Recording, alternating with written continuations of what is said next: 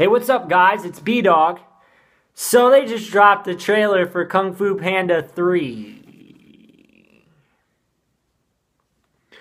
That was my initial reaction when I saw the title of the video. I'm like, come on, cash grab alert, cash grab alert. Well, this movie looks pretty good actually now. It's not fantastic, but it's entertaining. The trailer, at least. And it's going to get closer to Kung Fu Panda 1.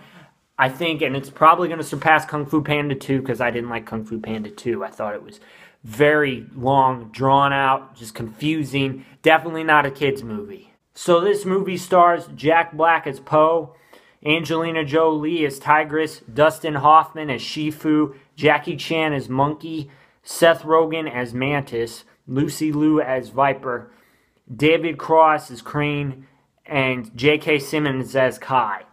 But anyways, let's get into the plot of this movie. So the plot is relatively simple.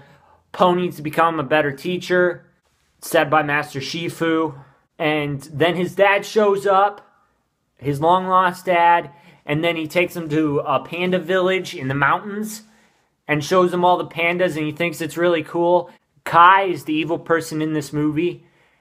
I guess J.K. Simmons has something with playing villains and Kai in this movie, he knows Oogway from the first movie. He was the evil leper that Po had to fight and Po defeated. So that's a point that they point out in the trailer. And so Po's got to fight him, but he's also got to teach his uh, fellow pandas how to fight so they can defend themselves against the evil guy. So that's the plot.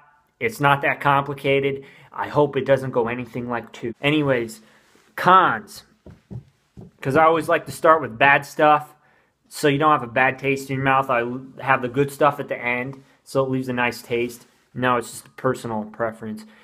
Um, had a little bit too many jokes. There weren't too many. Honestly, it's just a small little minute thing. A little, some of them were too prolonged. They, they were trying to push the humor a little bit too much. And if it goes throughout the whole entire movie like that, then it'll become a problem. But other than that, it's not that bad.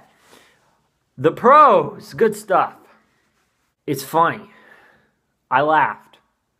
So that's a good thing. And the humor was simple, kids can get it. So you're not going to run into too many problems. People are going to like this movie. It's more of a kids oriented movie, but it's also got a little bit more adult jokes. Not like dirty, but you have to think about it a little bit more. Adults will get it. And the action looks pretty good because I think that's what the two had problem with it. It went too much into the action stuff and it didn't go enough into like humor and other things. Like the dialogue looks decent in this movie and the plot is not confusing as the second one, so that makes me happy. Watch the trailer cuz it's funny. You'll you will get some laughs out of this. I can guarantee it. And anyways, please like this video, comment on it, let me know what you thought of the trailer or what you thought of my review. That works too. But please, and just make sure to subscribe. I, I want more subscribers. And I was also thinking about doing something on my long-awaited movie of the last couple years, Power Rangers. I'm just, I've been waiting for it forever. I heard about a reboot and like, it's starting to come, but it's coming slowly. And I'm like, oh they have like five of the Rangers casted so far. I haven't checked recently. That was like on Friday when I checked.